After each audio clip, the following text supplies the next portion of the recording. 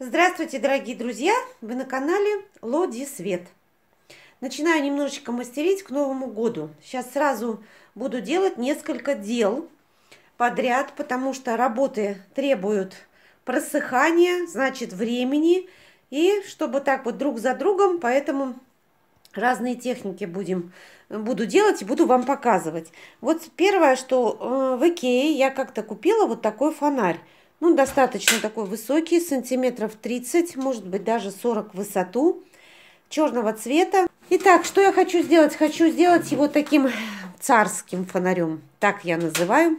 Ну и сейчас все увидите по порядку, еще он будет стоять на своеобразной ноге, ну, во всяком случае, так.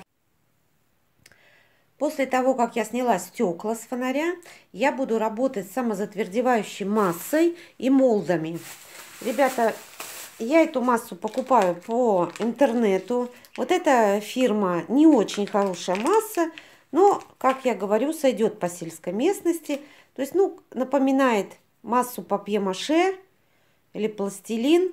И сама потом затвердевает. Вот такая масса. Работая с ней, у нее неприятный запах. Вот именно у этой фирмы есть получше массы.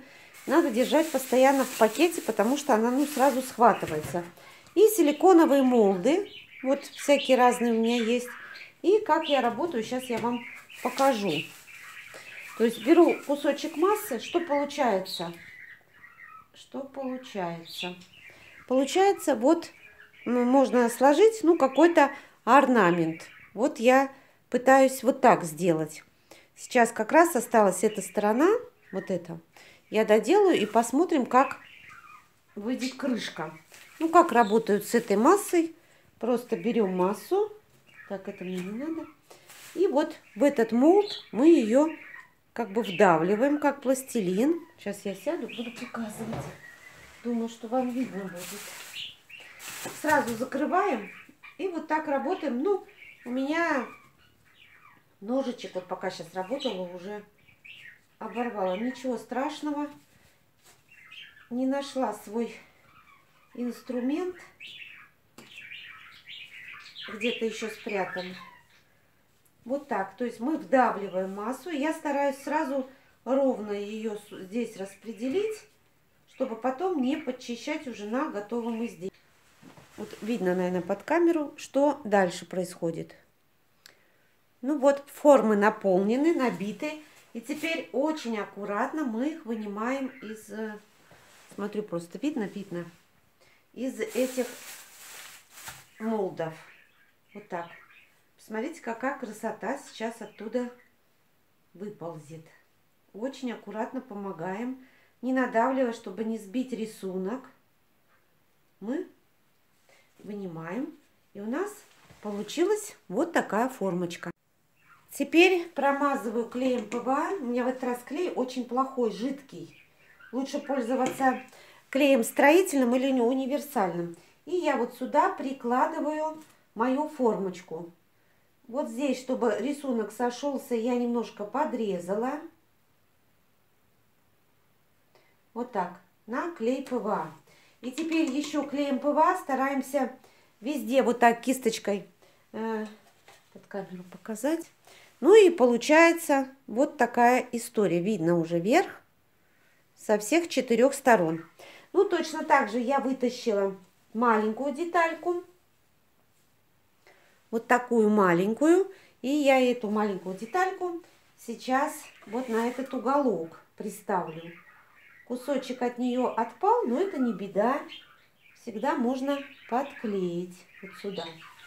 Тоже на клей ПВА промазываем и прикладываем. Вот еще останется сделать один уголок. Из другой детальки, вот из этой длинненькой тоже детальки, тоненькой, нежненькой, вот я от, отрезаю как раз вот такую, вот такой кусочек, такой узорчик, вот такой вот маленький, и вот сюда приклеиваю на уголочке с одной и с другой стороны. Ну вот, дорогие друзья, сейчас вот так вам сделаю, чтобы видно все. Вот такой фонарь у меня получился. Кольцо здесь я тоже сняла. Оно мешало моему рисунку. Итак, вверх Вот такой. Здесь дверца. Посмотрите, какая ажурная получилась. И внизу оформила вот так уголочки. Здесь вот такими молдиками. И вот тут еще тоже уголочки. Здесь уголочки и здесь уголочки.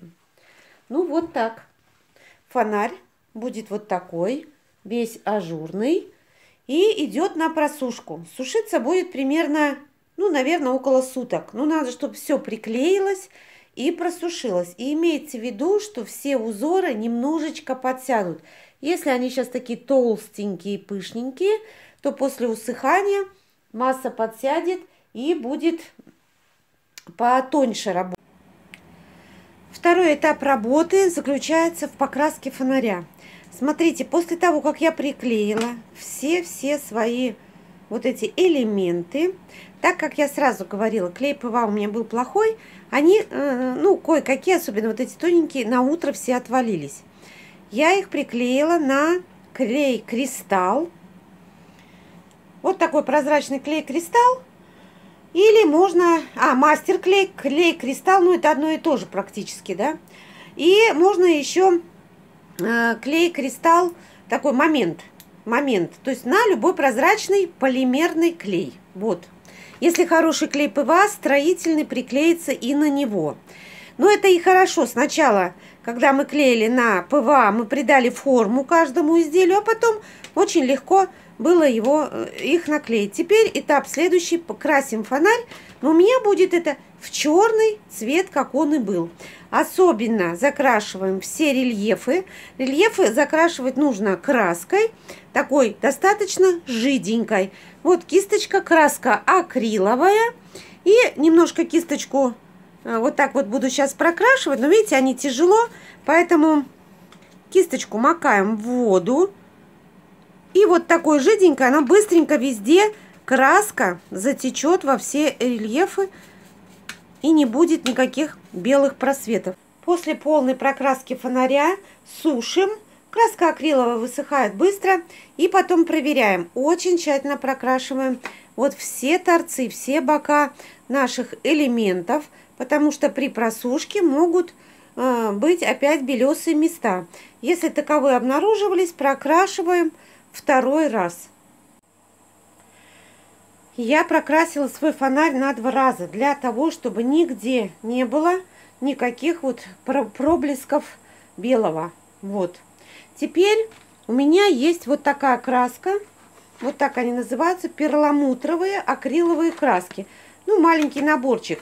У нас в городе они продаются в магазинах концтовара. Вот черная краска перламутровая. Что она мне дает? Цвет она не изменит, но перламутр придает такой более вид металлический. Вот посмотрите, вверх, ну камера, конечно, плохо, наверное, отражает. Вверх я прокрасила перламутром, а вот низ нет. Видите, он матовый. И вот сейчас я пройдусь перламутром. Но это еще не все. Фонарь этот не будет просто стоять. Фонарь будет стоять у меня вот на такой ноге. То есть это балясина, которую я купила в строительном магазине. Обыкновенная балясина для перил. Посмотрите, я ее покрасила сначала белой акриловой краской. Вот тут видно. Белой акриловой краской прям по дереву. То есть это как бы грунт нанесла. Э, и после белой прокрасила черной. Если не прокрашивать белой краской, черной можно красить и в 2-3 слоя. Потому что, ну и краски, естественно, уйдет больше потому что будет впитываться. Всегда сначала прокрашивают белое, а потом уже наносят ту краску, которая надо. И вот здесь видно, вот здесь обычная черная краска, а вот здесь я по ней прошла вот этим перламутром. Вот, и получился вот такой металлический отблеск. Ну, чтобы эта нога моя, на которой будет стоять фонарь, все-таки, вот здесь вот еще надо подкрасить что-то, все-таки выглядела как из металла. Вот разница очевидна.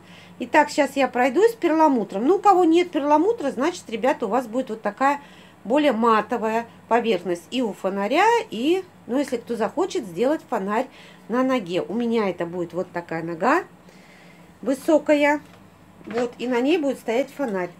И вот эту часть ноги я сейчас буду заливать. Вот так. Ведь я ее не прокрашивала. Буду заливать ее в цемент, чтобы фонарь стоял устойчиво. Так как этот фонарь я планирую не только в доме поставить, но и буду летом выносить его в свой сад, где-нибудь подберу место. И необходимо, конечно, чтобы он стоял плотно и надежно. Ну и так прокрашиваю. Перешла в другое помещение, чтобы все-таки со светом борюсь, чтобы было видно вам лучше. Ну вот после того, как высох перламутр, ну видно, да, вот видно блеск такой металлический. Особенно, конечно, это видно на вот этой балясине. Вот как будто бы из металла. Теперь переходим к самому здоровскому процессу. Будем работать. Но я хочу сделать его немножечко в позолоченном цвете. Мне необходимо э, позолотой выделить все накладные элементы. Посмотрите, у меня здесь бронза, золото вот такое и золото вот такое. То есть любая краска золотая, когда вы ее приобретаете в магазине, она имеет очень много, кстати говоря, оттенков. Вот у меня акрил золото 70 750 вот такой металлик. Есть у меня золото. Вот золотой шелк. Вот он потемнее золотой шелк. И есть у меня вот такая краска. Это бронза. То есть вот такими красками работаем в технике в технике сухая кисть. То есть я сначала вот более вот этим вот этим шелком наношу на кисточку немножечко краски, отбиваю ее. Я вот так делаю прямо об, об бумагу. То есть мне совершенно нужно, чтобы здесь были только легкие следы. Сейчас вам показываю здесь. И вот так вот прохожусь. Посмотрите, какой процесс, как сразу пошло. Позолота и немножко по краям, чтобы это было органично. То есть краски здесь совсем немного, но вот такой эффект. Сразу все выделяется. И выделяем все наши элементы. Пока вот этим золотом. Работаю несколькими красками, так мне как-то больше нравится.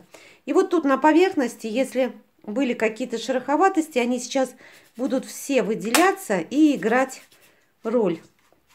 Только немного краски, чтобы это было ну, мы не ляпали, а вот только-только проходились. Видите, кисть я держу не так, а просто вдоль. Вот так. Ну и чуть-чуть осталось вверх. Вот как сразу у нас заиграли все элементы. Ну, надеюсь, вам, вам видно. Вот, у этого фонаря.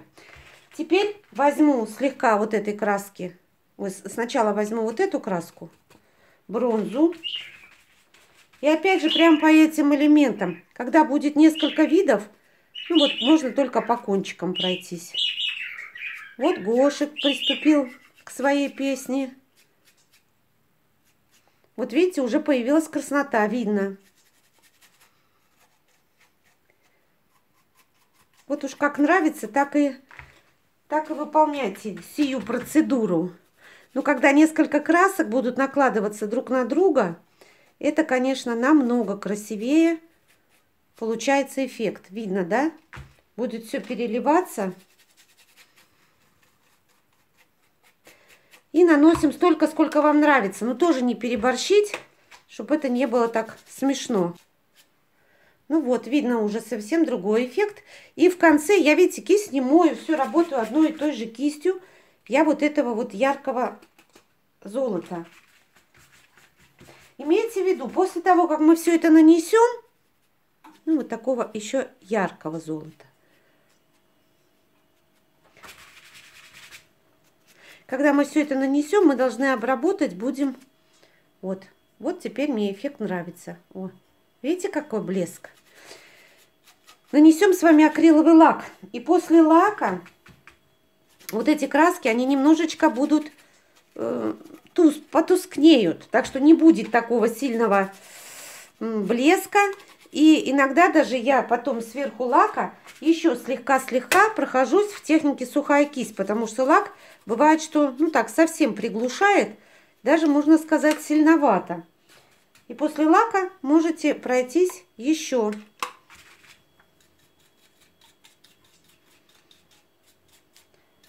Любой золотой краской или там медной, или какой вы хотите.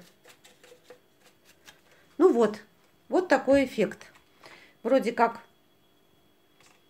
вот стоит, вот так он выглядит.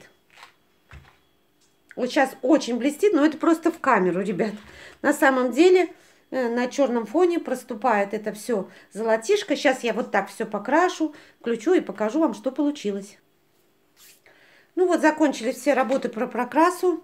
Единственное, камера, может быть, не отражает, но очень сильно в нее блестит. На самом деле не все так страшно блестит, как я говорила. Сейчас я нанесу акриловый лак, и все это, весь этот блеск потухнет.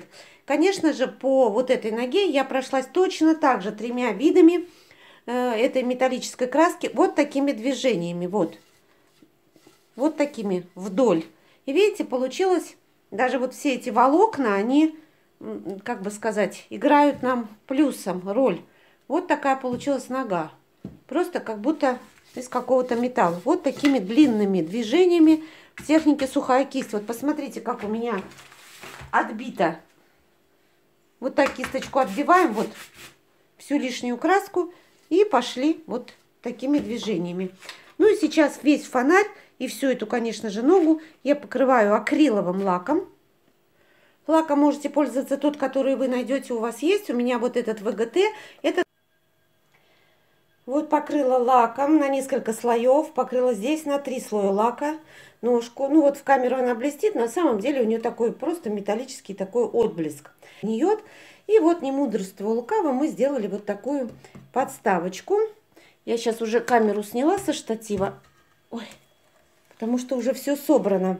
Просто фанера, покрасила ее точно так же, как все остальное, черной краской перламутровым черным, черный, несколько слоев там разного золота, бронзы и лаком покрыла на 5 слоев, просто чтобы от дождя это все закрыть. Ну, я придумала уже, я сделаю два гномика из цемента, такие, как делала летом и показывала вам, и сюда поставлю два гномика. Маленьких сделаю, хорошеньких и тоже золотистых. И будут они держать вот только лишь... Она стоит очень устойчиво на полу, естественно. 20 на 20 я взяла эту подставку. Вот, но ветер может запросто сранить, потому что фонарь получился все-таки высокий. Я вам покажу в интерьере и покажу вот так. Вот как это выглядит сам фонарь. Стекла я расписала контурами по стеклу. Не стала уже снимать этот мастер-класс, потому что это вообще отдельная страница. То есть можно распечаточку сделать каких-то вензелей, подложить под стеклышки и контурами по стеклу расписать. Они продаются, у нас, например, продаются. Есть и жидкий жемчуг, из которого можно сделать вот такие, как бусины, да. Вот тут они, вот тут у меня сделаны. Вот это одно стеклышко, и вот так второе стеклышко выглядит. Вот. А два вот таких стеклышка я не делала, потому что можно по-разному сделать эту конструкцию. Можно поставить свечу, можно туда гирлянду положить, да как хотите. Как хотите. Вот так выглядит этот фонарь. Ну а сейчас, итак, мастер-класс получился очень-очень долгим. Вот, видите, тоже тут по-разному он поблескивает. И сейчас я вам покажу. Ну, собрали, естественно, здесь на шуруп прикрутили. Подставку тоже на шуруп прикрутили. Вот и вся конструкция. И покажу, как он будет смотреться. И еще вот этот фонарь, который только что недавно купила в Аби, такой он черный-черный, но он такой помощнее, потяжелее. На нем была, были следы патины такой металлической, бронзовой. Я тоже его немножечко, немножечко преобразовала. Вот так нанесла везде разные тоже слои, для того, чтобы он органично смотрелся э, с тем фонарем и с моим камином. Вот. И он тоже пойдет в сад летом, но будет уже в другой композиции. Ну и вот так фонарь смотрится в интерьере дома, куда я конкретно его и делала. Это у камина, вот так он стоит. Видите, очень, даже вот его не пошатать, он стоит очень устойчиво и хорошо. Может стоять расписными вот этими боками своими, а может можно повернуть и там зажечь, например, свечу Или, естественно, туда положить какую-то гирлянду на батарейках, и она тоже будет светить. Вот на такой ножке все нормально. Видите, как это будет перекликаться, э, значит, э, с камином. Вот там каминные, у камина такие же штучки бронзовые. И теперь покажу вам, куда я поставила этот фонарь. Когда он стоит на полу, он ну как-то не так смотрится, пропадает. Вот эта подставочка, на ней стоят цветы летом. И стеклянная разделочная доска, я их терпеть не могу, эти доски. Я ее тоже покрасила черной краской, ну также, точно так же золотой. И получилась вот такая подставка для этого фонаря. Ну вот так все у камина здесь, видите, тема такая золотая у камина. Поэтому и фонарь вот был сделан именно такой. Если бы здесь была белая тема, то и фонари могли бы быть другого цвета. Но у меня дома вот и там перекликается, видите, с лампой, с подсвечниками. И вот так все это органично смотрится. Ну, вот такие мои две работы. Незамысловатые, но для дизайна мне очень понравились самой. Что-то кривенько стоит фонарь. Ну, по-другому еще может фонарь вот так стоять, например, с прозрачными окошками. Сзади все равно виден этот э, рельефный узор. И, допустим, там свеча. Вот так. То есть э, все одинаково. И потом я его вынесу в сад. И, дорогие мои зрители, кто знает мой сад очень хорошо, как вы думаете, в какое место этот фонарик можно поставить? И этот, ну, другой фонарь, тот будет э, композиция, наверное, из металла, где он будет висеть. Я так думаю, у меня есть наметка. А вот этот нужно будет куда-то пристроить. Так что пишите ваши рекомендации. Вы были на канале Лоди Свет. Мастер-класс длинный, но, честно, не знаю, как сделать короче. Так что не ругайте меня строго. Всего всем доброго.